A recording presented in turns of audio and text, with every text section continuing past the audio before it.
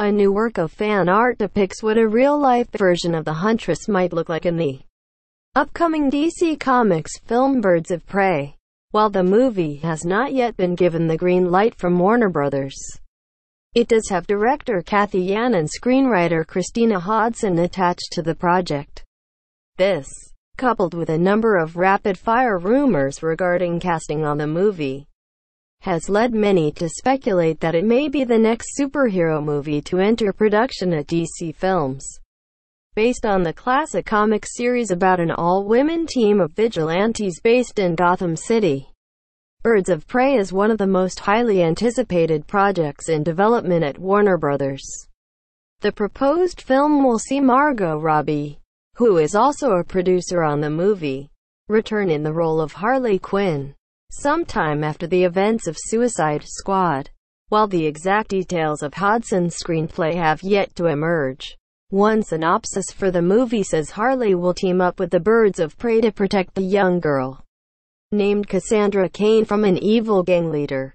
The precise lineup of the birds is also unconfirmed.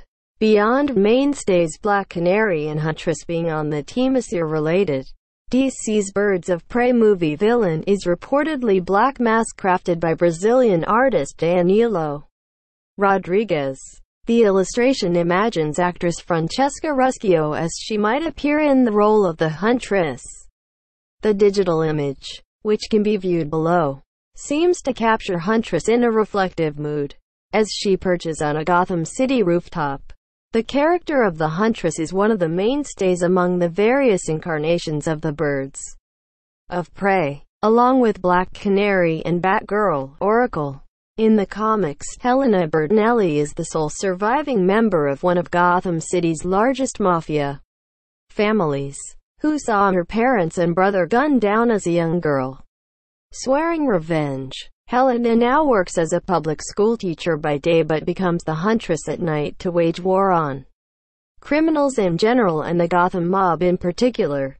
Despite having a similar background to Bruce Wayne, Huntress does not play well with Batman, often delivering a much more fatal form of justice than the Dark Knight.